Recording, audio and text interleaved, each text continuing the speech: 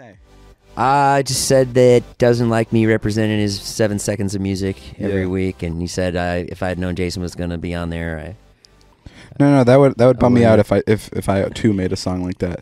Let me let's get back to your underwear habits. What is it? Is it you don't have enough clean underwear?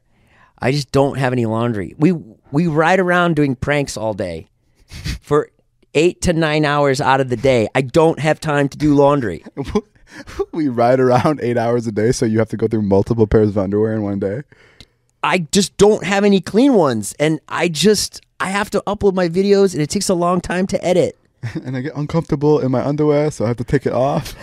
I'm quite I- comfortable. I'm free balling right now. and it's disgusting. Let me ask you, uh, why don't you give me some of those underwear? I'll take them and I will wash them. Well- I'll I'll take them home tonight. Then then the problem will be solved. The, because the thing is, if I give them to you, I know you're not going to wash them. Of course, I'm gonna wash them. You're going to slip them right on because you like that, you dirty, dirty old man. I don't have a bureau. You're going to sniff them, and you're going to be like, yeah, this is it. This is why I let him have all those Oh, you know what? Don't compliment yourself so much. If I was gonna be pedophilic with some young boy, it certainly wouldn't be you. You are not my type. I'm not arguing with you. What little boy you'd be pedophilic to? no, it sounds like you are being you have the hubris right now to say that I would be like all over you if I was a dirty old man. What did I say about using big words around me? You told me undies. You didn't tell me. Oh, um, no. I- and I'm also not a young boy. I'm 21. If you want to have sex with me, it's completely fine. dude, you're not my type. Get off it. I'm like, God, you guys, do you believe this guy? you believe? Romeo, Fred, these are my boys. I got my securities here today. Hey, what's up, boss? hey, how's it going, boss? That's a funny joke. You got David on that one. Damn. Thanks, guys. Where those voices come from? That's Romeo. Are they hiding I'm in the? Fred. They're hiding in the walls. You don't want. They're hiding in my mind. in my in my mind that I lost my mind a few years ago. Did you know that? Where? Where? Right before I met you, I lost my mind. it was I lost it, and then you know you've made it made it way worse. But about four or five years ago, I lost my mind. I was diagnosed as bipolar, Uh huh. and uh, and yeah, I was like walking around all day, absolutely insane. I I took Wait, you're bipolar? yeah. What does that mean? You get cold often? I'm kidding. you get cold and then you get warm flashes. That's menopause.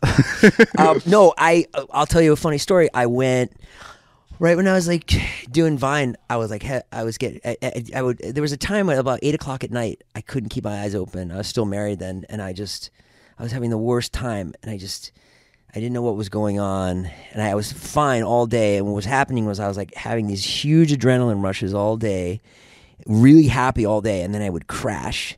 So, anyways, the doctor, they went to see this doctor. These people, friends of mine, they're like, we, we know you're bipolar. They diagnosed me somehow. I went, and the guy gave me uh, medication, and uh, and like I didn't take it. I went and and, and I kind of sat on it for like a week. And I remember the minute I took it, I, I my whole life changed. I went into like this total uh, drug induced episode Jason, the day the day I took the pills. you started that story with, "Can I can I tell you a funny story?" what part of that was funny? I'm telling you, let me let me get I- to it. And then I almost overdosed. And So- So no, so so they said that it would take two weeks for the medication to work, uh-huh. and I was at a bowling party with my son. this is where it gets comical. Took my son to a bowling party, Wow. and uh, this like dad, other dads started talking to me, and I was like, I don't want to talk to him. And then uh, I was like, I ran in my car and I grabbed the medication and I took it, and literally like in like a minute, like the the whole bowling alley slowed down, and then ever since then I've been better. What do you mean? Like you were you were getting mad at the dad Yeah, I was getting really agitated. because he kept talking to you? Yeah, I was like, I don't know if I talk. Like, I, I- I have, I have trouble like when people like if You I, stopped taking those pills. huh? Have you stopped taking those pills? Uh, no, I still take them. But last night you definitely didn't. What is that supposed to mean? No, oh, there you go. You didn't take them today either. What are you talking about? Oh. oh my God! Don't you dare mix my bipolarness into what you did last night.